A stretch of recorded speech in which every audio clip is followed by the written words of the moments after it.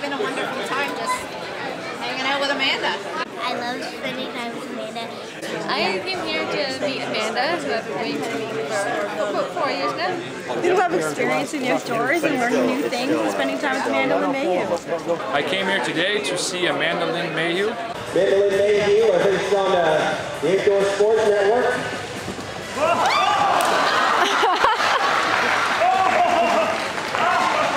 Uh,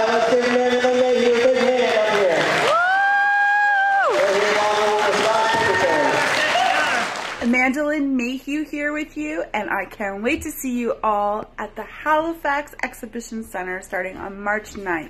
I'm so excited to come back.